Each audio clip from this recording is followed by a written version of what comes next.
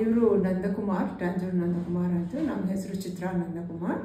ನಾವು ಯು ಇಂದ ಬಂದಿದ್ದೀವಿ ಅವರು ಕ್ಯಾಟ್ರಾಕ್ಟ್ ಆಪ್ರ ಸರ್ಜರಿ ಮಾಡಬೇಕು ಅಂತ ಹೇಳಿದಾಗ ತುಂಬ ಎಕ್ಸ್ಪೆನ್ಸಿವ್ ಆಗಿ ಕೋಟ್ ಮಾಡಿದ್ರು.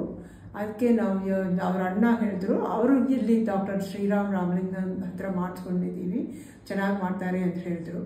ಆಮೇಲೆ ನಾವು ಅಲ್ಲಿಂದ ಇಂದ ಇಲ್ಲಿ ಬಂದುಬಿಟ್ಟು we got the contract surgery ಮಾಡಿಸ್ಕೊಂಡಿದ್ದೀವಿ ಈಗ both right eye and left eye ಮಾಡಿದ್ರು ಈಸ್ ಫೈನಲಿ ನಾವು ಏಬಲ್ ಟು ಚೆನ್ನಾಗಿ ನಾವು ನೋಡೋಕ್ಕೆ ಆಗ್ತಾ ಇದೆ ಅವರಿಗೆ so he is very happy with that Basically, we are very happy with the result because my vision is now very good. I don't need glasses. I may need some glasses for reading, but otherwise the vision is very good. No more contact lenses, no more glasses, no more changing things, and no more solutions to be dealt with. So it's been a good experience. Thank you very much.